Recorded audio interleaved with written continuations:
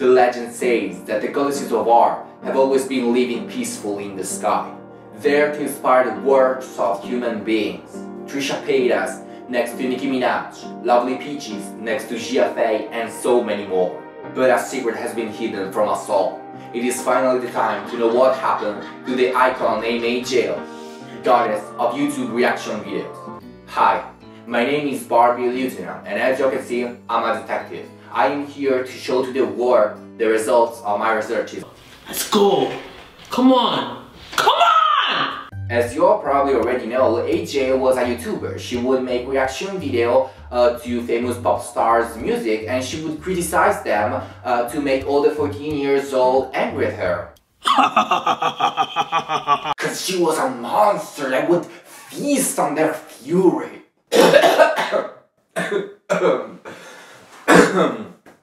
oh. However, she disappears. She she she listen. However, she disappeared. She stopped posting. That's the whole story.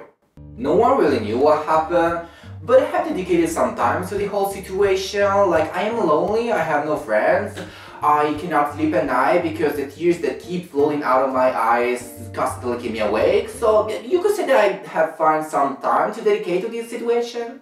Now, there is no doubt that she's been kidnapped by a fandom. But which one? Was Lana's Stans? We know that Lana Stans are actually some of the most problematic people ever. What is the Lana count? But I don't think that they are the responsible in this case because um, I, I, they have not a lot of energy because they are generally very, like, very depressed. How would I know? I'm, I'm, like, I don't know, like, I'm just talking in general, like, you know, it's common knowledge. Oh, Lana! Lana!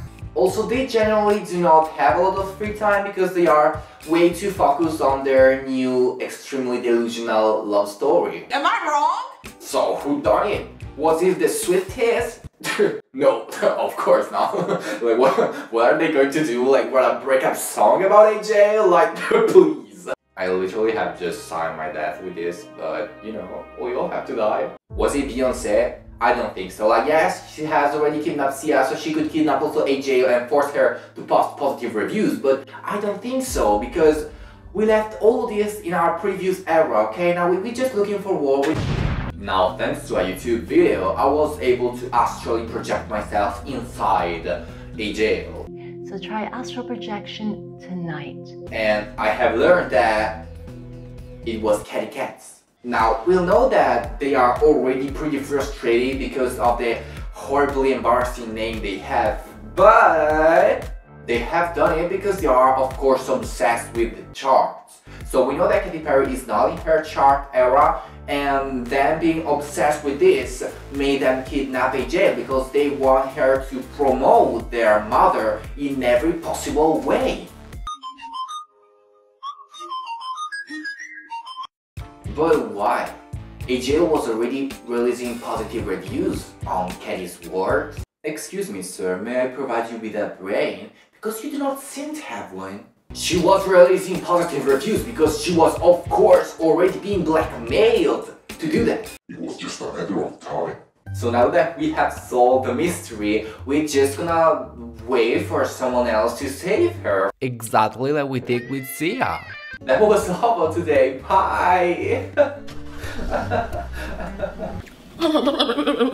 no one is going to get hurt if you do what I say. Press that subscribe